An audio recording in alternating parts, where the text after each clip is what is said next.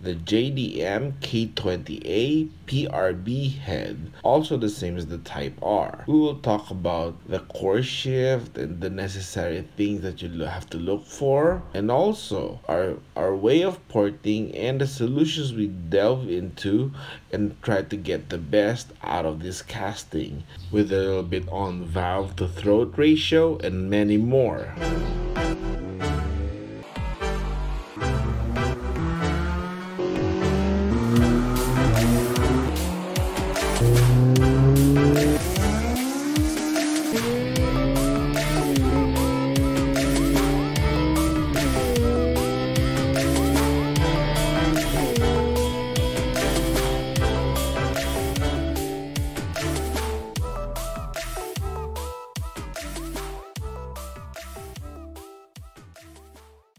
Now here's the PRB head.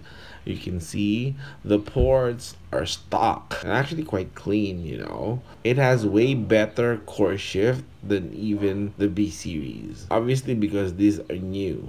You know, when we compare to the B series casting and even the D series. Now here's the exhaust side and we will talk about the core shifts and what we don't touch or we try to avoid by me by you know because it will make it worse. And also on the intake side so we will get to that in a little bit. And we will show you the pictures of how it is stock you know and on this photo you can see the part before the valve seat. The core shift creates a ledge or you know an abrupt change right? And we're gonna get into details on that and show you and actually edit the video and put some arrows on where I'm talking about or what I'm talking about. So let's go. As we go back to this shot you can see here there's a ledge because the core moved a little bit to the left and of course the valve seat is referenced to the valve guide so that's more centered than the ports. And here's a closer shot and you can see clearly. The core shift is towards the left you know? I mean it's making space there. But on the other side it's just fine. I mean like the port wall to the throat or the, the seat is consistent. There's no ledge right? And onto the exhaust is the same thing. But this time the port seems to move a little bit backwards down to the bowl and you can see the ledge is a little bit more centered. But the thing here is that if you decide to clean that up you're going to increase cross-sectional area. And that's when you start losing torque and then requiring closer gear ratios and it's just never ending cost right?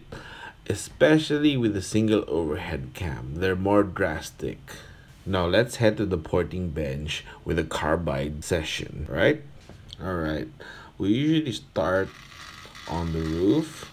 Well, you know, it's just something that I got and kind of use got used to. So let's go. Let's speed it up. So it's gonna it's not gonna take long, alright? Yeah. Alright, shaping it. You will find certain bumps or ridges whenever you make a pass and that's when you start smoothing it out but do not take too much material away you know? That's called hogging it out and we lose torque. All right now onto the floor. We start smoothing it yeah. It's gonna look really really good now. Then we turn it again. Now it's for the bowl all right and we're gonna talk about this and we're gonna show you the carbide finish before we go to the 80 grit you know? Just so that you guys know each step of how we do things. Now here it is freshly cut with a carbide. As you can see some areas are left untouched. This way we don't go overboard on the cross-sectional area you know all right now let's look at it closer here we go here you can see now we've started shaping it to the desired contours that we want you know that we're shooting for for better airspeed and torque generation. Alright, we'll do something that's never been done before. We're gonna go back and forth with the picture of the stock and the carbide cut. This way, you can visualize it on your own and understand it a little better than just words. Now onto the exhaust ports. We go with the carbide and start shaping it and we'll show you a little later on how the shape has taken and what we've left out so that we're not hogging it out, right? Now we keep going and we're, we're gonna speed it up now so that it doesn't get too boring, all right? We're gonna keep going and get the shape that we desire, all right? it's going good now. All right. And and the thing is we always do it in this sequence and we just got used to it so bear with us. All right now here we are. The fully carbide finished exhaust port. Not just finished you know just i mean we're done with a carbide you know all right now we can have a closer look in just a little bit Hold on, let me get close. You'll see. Alright, here we are. Now you can see the shape has started to become really, really good. Like in an efficient way, you know. So you're gonna see it's gonna be really, really good once we get done with the 80 grit. Alright, before anything, our ethyl alcohol and soapy water mix. We're gonna spray on the intakes so that when we start hitting it with the 80 grit, it starts to clean up well. All right, we always do that. All right, let's go now. It's 80 grit. All right, yeah. Now we're gonna get the shape. Okay, wait. All right, let's speed it up now. You guys might get bored sooner or later, so let's go. Time lapse. It takes practice to get used to the sequence, but as soon as you guys start hitting the 80 grit, make sure the way you port it or grind, you have the flow in your mind. Because remember, flow doesn't have eyes, it'll just go by the feel. And by doing this, you'll start taking the approach differently and properly. Now on to go the port floor. Okay go do this and continue little by little. And then okay let's go faster now. And as you can see the port shine is starting to get really really good. And you can as you notice we spray uh, the ethyl alcohol bit by bit. Whenever we feel like it needs a little bit more because if you don't you'll just start to spread out dirt and grime. This is why it's it ends up really clean. You can see it right? It's gonna be really really good. And now we invert it to get the bowl. And you'll see now it's starting to look really really good.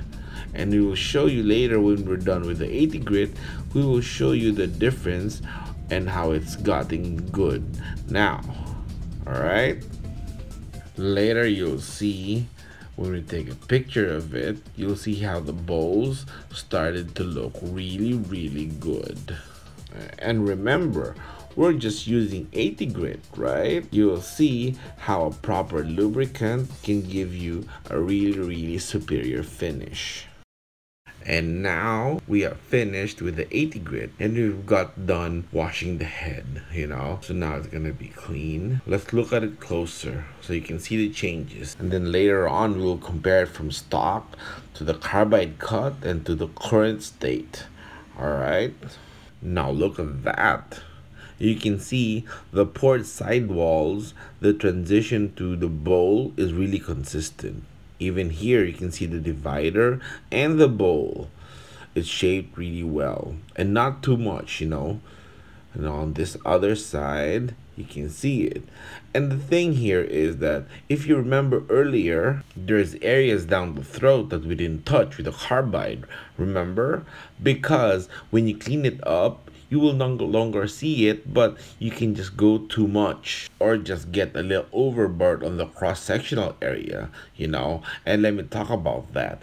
We usually go for 88 to 89% throat ratio from the valve to the throat, sometimes 90%. And only on high power turbo applications do we ever go 91%. And when you think about it, let's do the math here. On a B series, it's 33 mm, right? So the 89% of a 33 mm is 29.37 mm. And then the 91% of a 33 mm is 30 mm. You see how close that is? You know, it just it takes just one pass with a carbide or with a sanding roll and you're overboard, right? Now onto the divider. Some like the knife edge the tip and some just like to leave it round. And you know, I'm not really debating on which one is better because there's more than one ways to skin a cat. It's all about the differences in principle theory. But let me show you. This is called a T-tray in Formula One. It actually starts the airflow towards the diffuser. Alright? Now look at this. They were selling this in 2015. The Caterham floor bed. You can see the divider is sharp, right? Alright, that's cool. And this is a more recent GP2. You can see the divider. And here's a more current one. And then look at this. McLaren during testing. Look at that. And then look, that is not a knife edge. That's actually really, really round, right? And it's, you can see on this simulation how the divider is, right? It's kind of a bit round. So anyways, now going back to the intake ports, we'll show you something that's never been shown before, or usually they don't show it, the short turn. But before that, let me show you the finished exhaust ports. Ooh, they look really, really good, right? Now, let me show you the better shots. Now, here's the finished exhaust ports, and you can see it's actually shaped quite efficiently, so this gonna be really, really good. That means more efficient, and that's good for more torque, and actually not really a gas guzzler, you know. So let's do this now. The carbide finished ports, and then the 80 grit finish. Look you can see the difference, right? And then on the intake, this was the carbide finish or the status earlier on. And then here, you can see that looks really, really good. Okay, now let's go to the short turn and here now you can see the short turn. It looks really good. I mean if you look at it the transition from the throat all the way to the short turn into the port floor is not too abrupt. And the thing is the better shape that you can achieve on this the better flowing head or ports that you've had or done here you can see the short turn. It's really really consistent. And the transition from the sidewall all the way to the valve seat is really good. And you can see with a better light or proper lighting you can see the curve is really really good. See? That actually is gonna be really really efficient. Now this is actually capable of 300 wheel horsepower with the right cams on a K24. So actually this is my own personal head. So if any of the local ones want to get this, it's available it might just be the key for you to break into the 300 horsepower category, you know. And with the K24 head that we did, you can click here because it's also available.